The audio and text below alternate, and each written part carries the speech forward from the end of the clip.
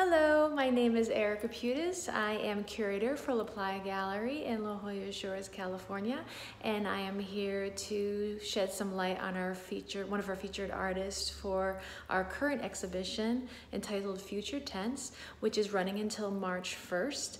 And his name is Michael Panetta, and he is an amazing uh, glass blower and glass artist. So I'm going to give you a little bit about his background and give you some close-up shots of his beautiful work. So make sure to visit before the exhibition is ended. And um, again, up until March 1st, 2019. And we hope to see you and thanks for watching. Bye.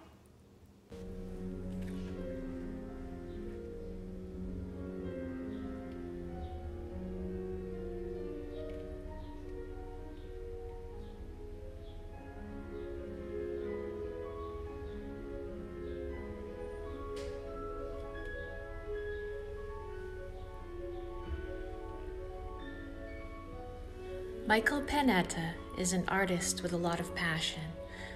His passion for glass started at a young age of six years old, even though he didn't realize it at the time. He remembers being mesmerized by this hot, molten lava as he watched the glass blowers at the Sawdust Festival of Laguna Beach. Little did he know that 10 years later, he would be reunited with his passion.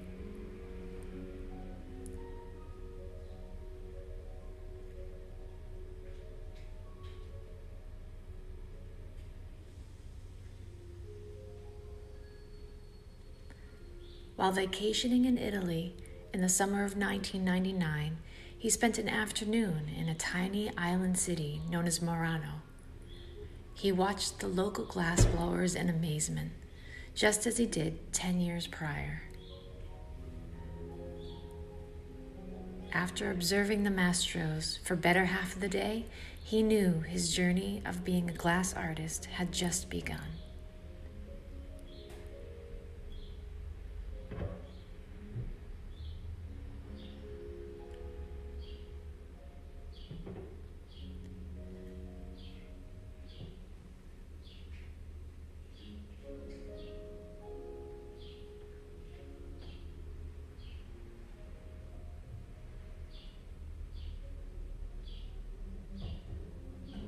Michael is currently composing lines of work that are a collaboration of everyone's knowledge that has been handed down to him, with his own style and technique added to it.